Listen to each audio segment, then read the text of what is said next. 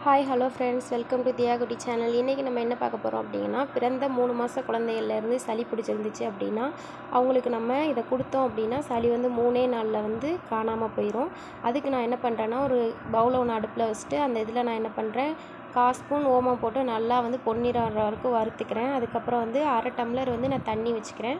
தண்ணி வச்சு அதையுமே நல்லா கொதிக்க விட்டுக்கிறேன். இப்போ வந்து நம்ம ஓமம் தண்ணி கொடுக்குறனால குழந்தைங்களுக்கு சளி பிரச்சனை அதுக்கப்புறம் செரிமான பிரச்சனை அப்புறம் வந்து மோஷன் போகிற ப்ராப்ளம் எல்லாமே இது வந்து தீர்த்து வைக்கும். ஓமம் வந்து ஒரு சிறந்த மருந்துன்னு கூட சொல்லலாம். நல்லா வந்து கொதிக்கிற நிலமையில நம்ம வந்து ஒரு பிஞ்ச் அளவுக்கு நான் வந்து பனங்கற்கண்டு சேர்த்துக்கிறேன். நீங்கள் நாட்டு சக்கரை கூட சேர்த்துக்கலாம். ஜீனி வந்து சேர்த்துக்கக்கூடாது இதையுமே நான் நல்லா மிக்ஸ் பண்ணி விட்டுக்கிறேன் மிக்ஸ் பண்ணி விட்டுட்டு நல்லா வந்து நிறம் மாறுறது உங்களுக்கு தெரியும்.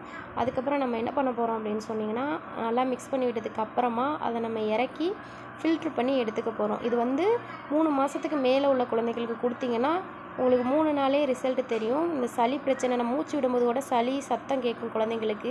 இதை கொடுத்தீங்க அப்படின்னா மூணு நாளில் சத்தம் அந்த சத்தமே இல்லாமல் போயிடும் ஃபில்ட்ரு பண்ணி எடுத்ததுக்கப்புறம் பார்த்தீங்கன்னா நம்மளுக்கு வந்து இவ்வளோ தான் வந்திருக்கு. கா டம்ளராக வந்திருக்கு இப்போ நம்மளுக்கு. இதை நம்ம என்ன பண்ண போகிறோம் அப்படின்னா நீங்கள் வந்து சங்கில் கொடுக்குறா இருந்தால் சங்கில் கொடுக்கலாம். அப்படி இல்லைன்னா சிரஞ்சியில் கூட கொடுக்கலாம். இது இவ்வளோ தான் கணக்குன்னு இல்லை. நம்ம குழந்தைங்களுக்கு கொடு கொடுக்குறது நல்லது தான் இது நீங்கள் எந்த டைமில் வேணாலும் இதை நீங்கள் கொடுக்கலாம். இதை நான் வந்து இப்போ வந்து பால் பாட்டிலில் வந்து ஊற்றிக்கிறேன் ஊற்றிட்டு வந்து இதை நான் வந்து என்னோடய குழந்தைக்கு கொடுக்க போகிறேன் நீங்கள் தலைக்கு குழந்தைங்களுக்கு ஊற்றுனதுக்கு அப்புறம் கூட இதுக்கு கொடுக்கலாம். Okay friends bye